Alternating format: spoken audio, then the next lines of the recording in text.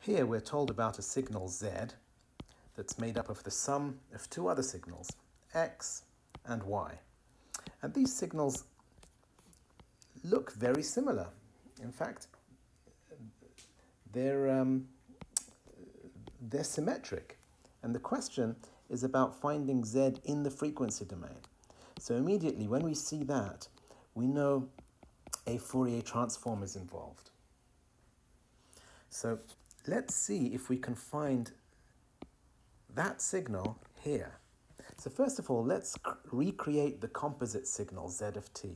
And it might help if we try to visualize or sketch the signal first.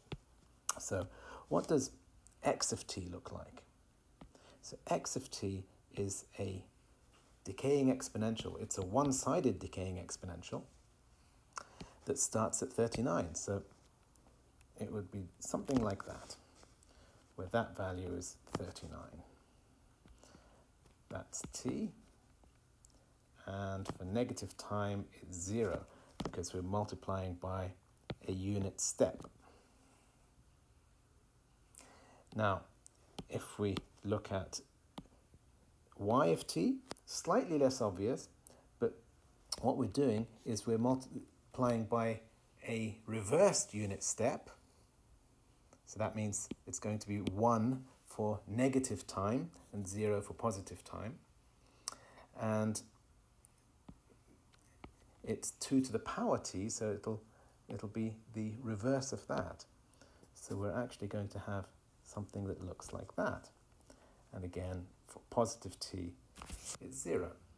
So when you add the two, so remember what we have is the sum, x and y together, our signal will look something like that. And if you look at that, another way of expressing that is as such. We can write that as 39 times e to the power minus 2 absolute value of t because you have the minus 2t here and you have the 2t there. So it's as if we're taking the absolute value of t. So now, rather than having a composite signal with two components, x and y, we can now look up in our table this two-sided exponential. And there it is. So identifying here that a is equal to 2 we can say our inverse Fourier transform is that, and we can simply write that out. So we can say z of omega is equal to 2 times a, that's 4, over 2 squared, 4 plus omega squared. So that's our answer, except we are told that omega equals 7. So we can replace omega here with 7.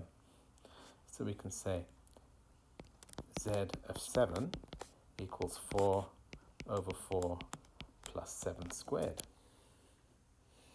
So that's 4 over 53. And you can calculate that, and that is your final answer.